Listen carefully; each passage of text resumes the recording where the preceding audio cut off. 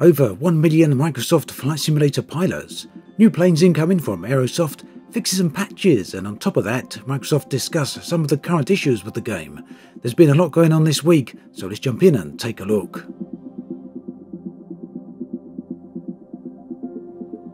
Microsoft Flight Simulator has been the largest ever launch title for Xbox Game Pass for PC, with over a million people downloading the sim.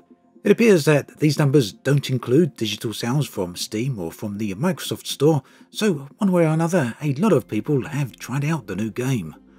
Other stats on the sim are particularly interesting, and you can see these on the screen right now, and that standout one of 1 billion miles flown is an impressive figure for sure. Developer and publishers Aerosoft recently held a special event called Next Sim where they discussed their upcoming products.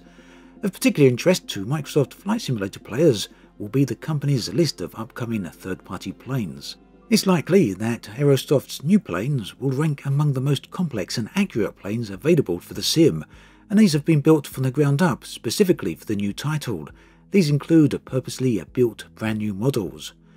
As a reminder, Aerosoft have been working very closely in partnership with both Microsoft and Asobo Studio in assisting with the creation of the software development kit. This means that Aerosoft are very much involved with the sim and have a direct experience of developing for it.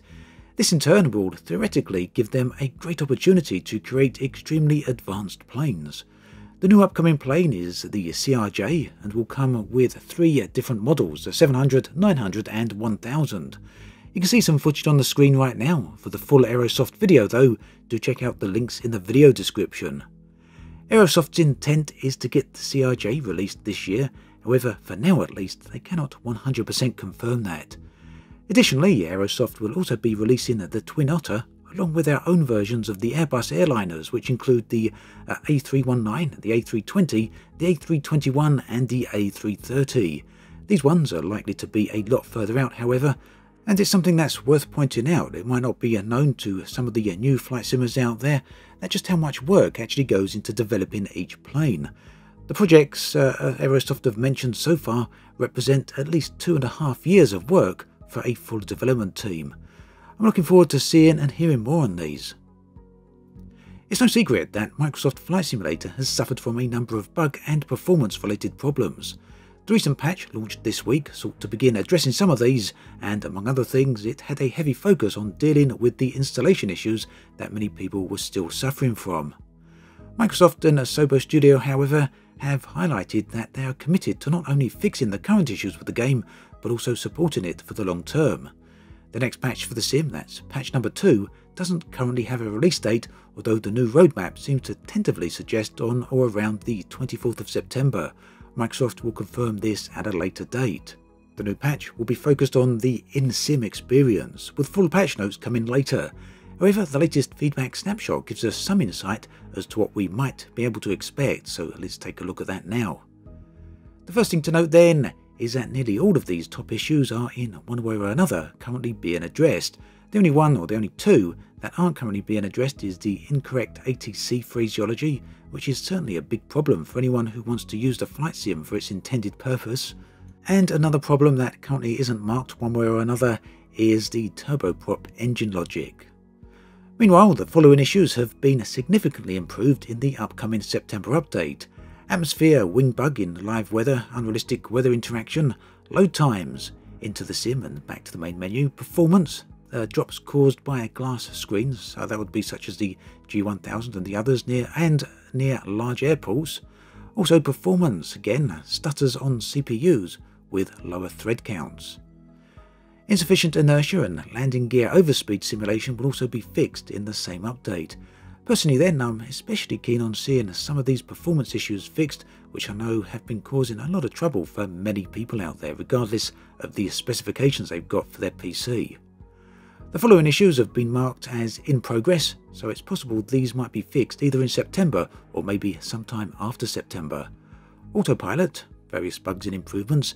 Now this one is a particular problem.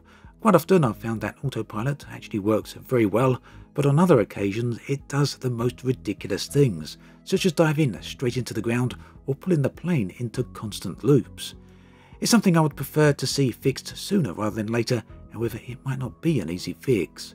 Elsewhere on the list, the G1000 and G3000 Garmin systems need finishing off. They haven't got all the systems in place yet, they're actually not fully functioning.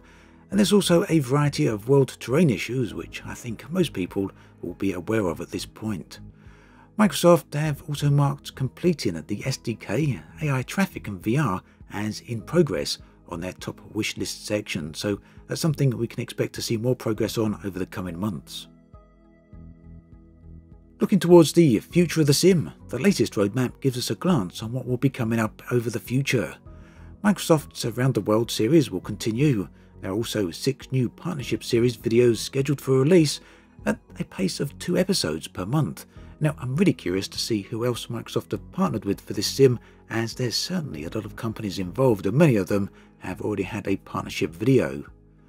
Late October and late November are also marked with new patch updates, and this is in line with the plans of a one major patch for each month. As this month's update is the in-sim one, it seems likely that the next month should be a world update, and I believe the one after that is probably going to be a paid update, including new content.